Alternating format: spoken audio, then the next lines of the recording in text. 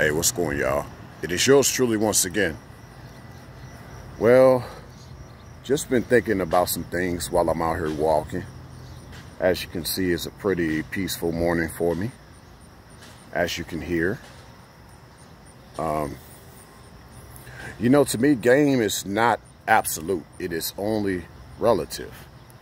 Now, you got some guys out here trying to make game seem like it's absolute. You know, they'll say things like, life is a game, the game of life. But you know, the funny thing is, is that everything that they're saying is void of love. You know, there's no love. So, in essence, they're saying that life is a game and that it's about the game of life instead of saying that life is love and you got to have the love of life. But you know, that's just the world that we live in now. You know, uh, people have replaced love for game. You know, how game is relative for me, if one may ask.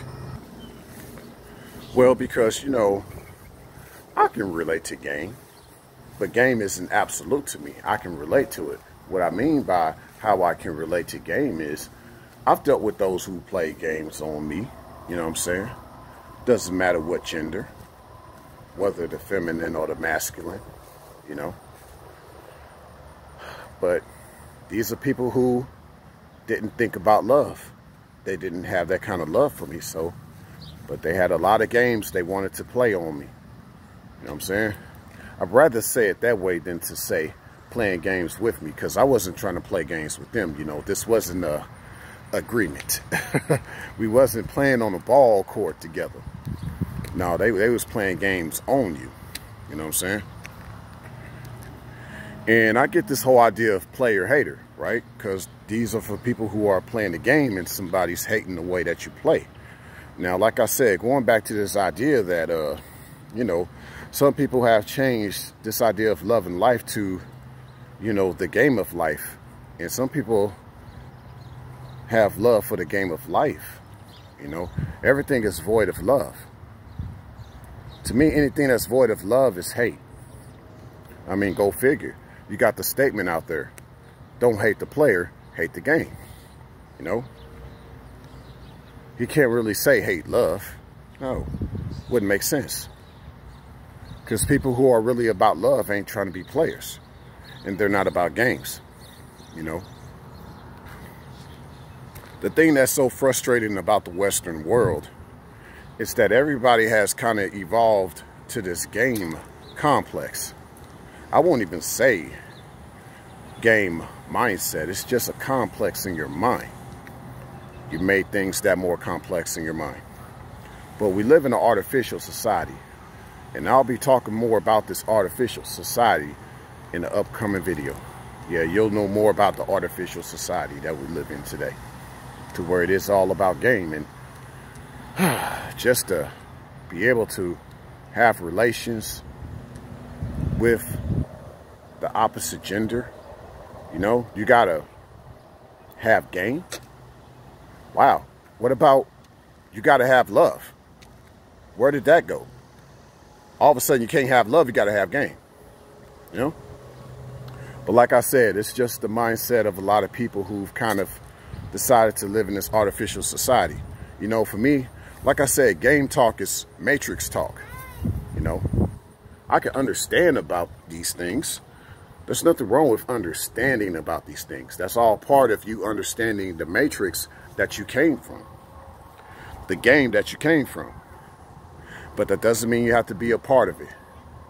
And just like with Neo, you go back into the matrix in order to destroy it, in order to disrupt it. And you got to do that with game. It's not that you go back into the matrix just with better understanding of game so you can, you know, use game to your advantage. No, you, you come there with this idea that you have a greater power that surpasses game. And if you don't believe in that power, it'll never be truly a part of you. You know, um, it, it's something that should flow effortless. So, you know, I've never been the type to spit game. I've always been the type to speak truth. And to me, truth is love. It's not about speaking the truth in love. Truth is love, you know? So I've been all about speaking the truth about this game. You know? Uh, so I'd say on the flip side, if someone try to say, well, how can you speak love about the game? If one asks you that. Well, the only the only thing I can really say about that is, um, I'd say for those who got stuck up in this idea of what game is, I only speak love about those who got caught up in the game.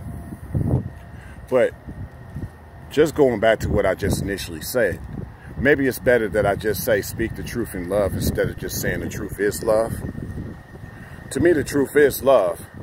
But with a lot of the English grammatical, some of it just doesn't make sense. but I think the best way to put this is um, you speak the truth, and hopefully within you is love with the truth that you're speaking. You know? Because some people can speak the truth about the game instead. You know? I guess, like I said, uh, if you go back to anything that I've said and if anything kind of resonates to you, the only love that I will speak about the game is, like I said initially, just uh, just now. Uh, it's more or less about telling you how you don't need the game in your life like that. You know, I know enough of the game to tell you how much you don't need it. I can say that much. You know.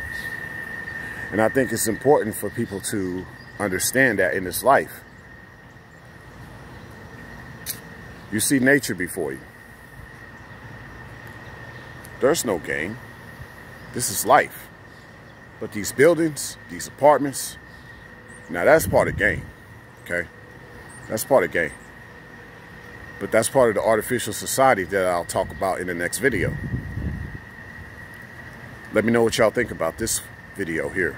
Let me know in the comment section below. Oh, and by the way, yeah, if this is your first time here at this channel and you like my type of content, just hit the subscribe button. I'd appreciate that. Hit the like button, click the notification bell to get all of my uploads in real time.